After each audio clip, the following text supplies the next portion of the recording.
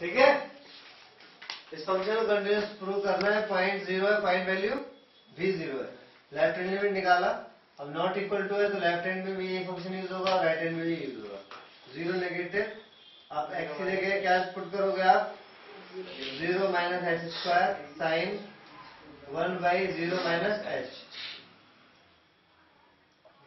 ठीक है? Limit H tends to zero zero minus H यानी एच स्क्वायर। और sine one by minus one by H. अब sine में वन बनाने के लिए हमें क्या करना पड़ता है? Sine minus one by H है।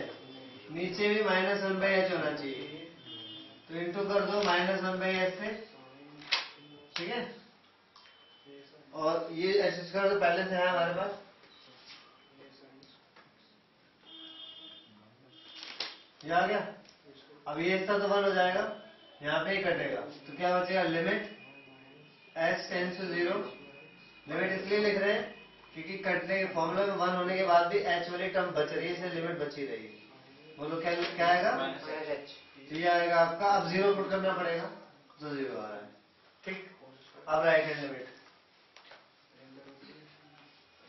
जगह ज़्यादा गिरा दिया यहीं पे करते हैं sine minus one by H upon minus one by H into limit H tends to zero minus one by H into का एक एच स्क्वायर तो क्या बचा? Limit H tends to zero minus H यानी कितना हो गया? ज़ीरो अब right hand limit limit at X tends to A positive zero positive क्या लेंगे?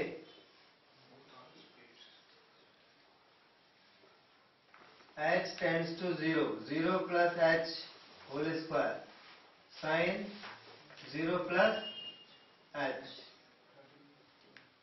ये आ गया एच स्क्वायर ये आ गया साइन वन बाई एच तो limit H tends to zero sine one by H नीचे भी चाहिए? One by H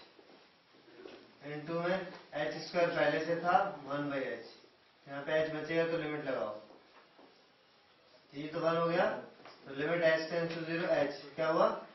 zero point value भी ज़ीरो लेफ़्ट हैंड लिमिट भी ज़ीरो राइट हैंड लिमिट भी zero since left hand limit is equal to right hand limit is equal to point value therefore F X is continuous at X is equal to zero समझ में आया? अब मुझे लगता है continuity के question आप सीख रहे हो धीरे धीरे